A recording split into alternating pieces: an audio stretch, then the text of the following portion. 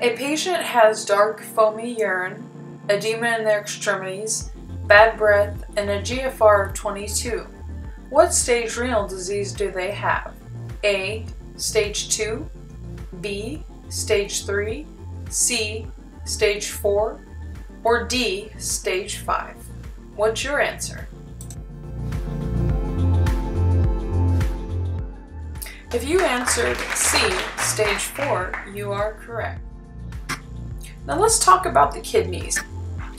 The kidneys are approximately the size of a large fist. You have two of them, and they sit right below the end of your rib cage.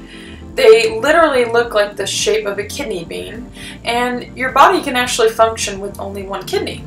Now, some people are actually born with only one kidney, and then there's some people who have what's called a nephrectomy for different reasons, which this is basically when the kidney is removed. I'd like to think of the kidneys basically as WebMD explains trash collectors. I think that's a great way to put it.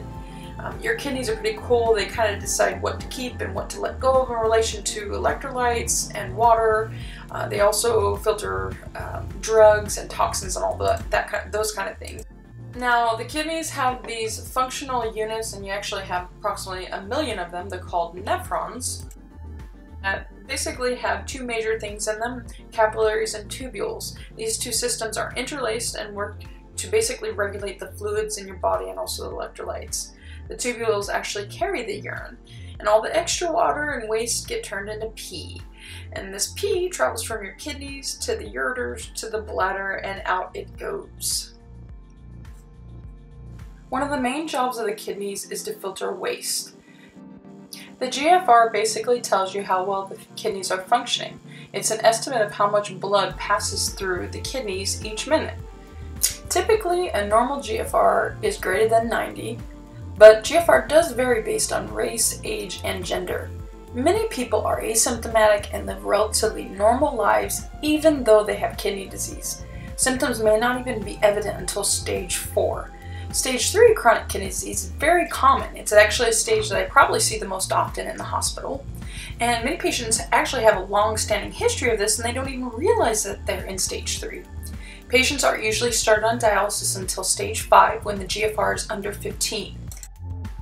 There are two medical terms that are important to know if you're a healthcare provider. The first one is anuric, which is a urine output of less than 100 milliliters per day, and oliguric, which is urine output of less than 4 or 500 per day. These two terms are sometimes used interchangeably, but they're not the same thing, and that's important to know. You'll also often hear about the lab level creatinine in relation to the GFR, and then when the kidneys aren't functioning properly, they aren't able to get rid of this waste product creatinine.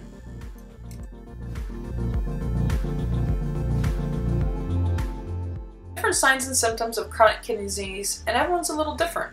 But here's a list of some of the main ones that you'll see in later stages. Things like edema of the extremities, urine may appear more foamy-like, and that's usually due to increased protein in the urine. Uh, there's also, sometimes you can actually have either a decrease or an increase in urine output. Uh, so, you know, later stages usually you'll see more of the oliguric or anuric, but I've still taken care of patients previously that actually had normal urine output but the kidneys are not filtering out the toxins properly and not regulating the electrolytes. The last thing they want to talk about is acute on chronic renal failure. A lot of people don't understand exactly what this means. Basically, someone can have kidney failure, whatever stage they're in, and their their baseline, they're past their baseline. They've actually declined in renal function. And our, our job there is not to try to get them to have perfect renal function, but to get it back to where it needs to be, back to their baseline. And also, we do this a lot of times by sometimes we'll gently hydrate them, sometimes we'll just hold any kind of medication that we think could be contributing, and also just anything that we can do to basically get them back to the baseline.